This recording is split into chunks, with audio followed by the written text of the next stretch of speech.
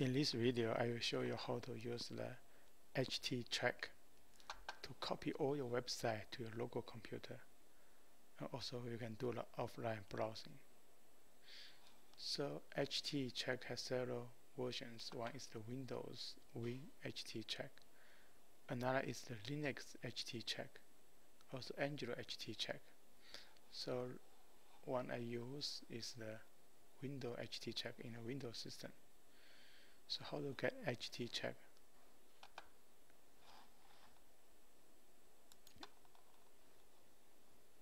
You go to here, HTTrack here. Go to the www.httrack.com. You can download this one. This is the home page. This is the download page. Download page you can see here. Windows for HTTrack. Also Linux. Also Android. You can download each one. You can download this one HTTrack is just the open source software. You can download all everything in the local directory and also its good things is the recursive all directories.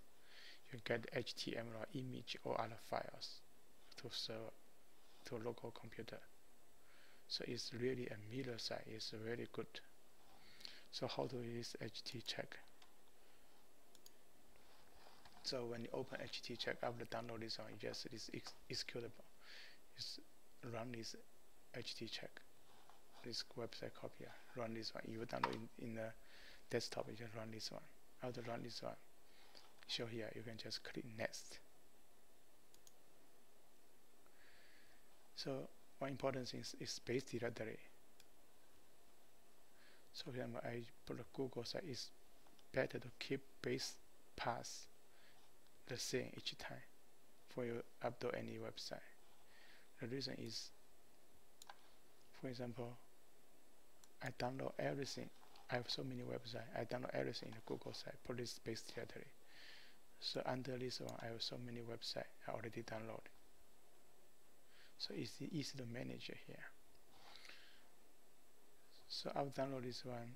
You can create a project name if you, this is the web, new website. Never download the local. You can create a new project name after create new project. Later after finish download it will show here. The directory name project name is set to the directory name will show here. You can also use the existing project. For example this is my existing project this one I already download and put here. So for detail you can go to file browse site. This browse site is the site you already download.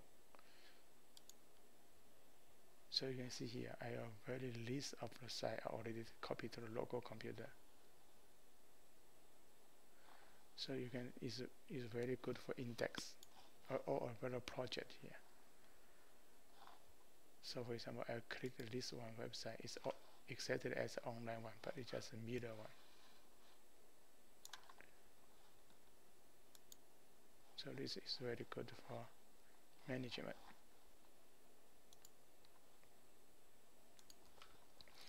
So you create new one. You just use a download whole project. I, for example, now use the existing one. I will go click next you can say next if all default is the update existing download it's because I already downloaded.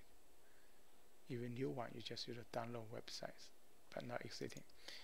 It even can keep the original website because you have memory of the, what original website you already download.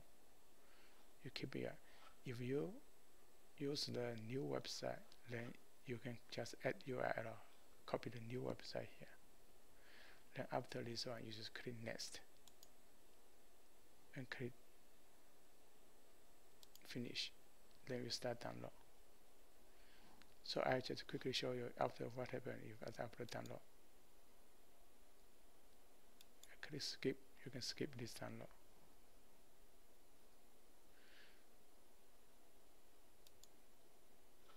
So after finish finish download you can see the website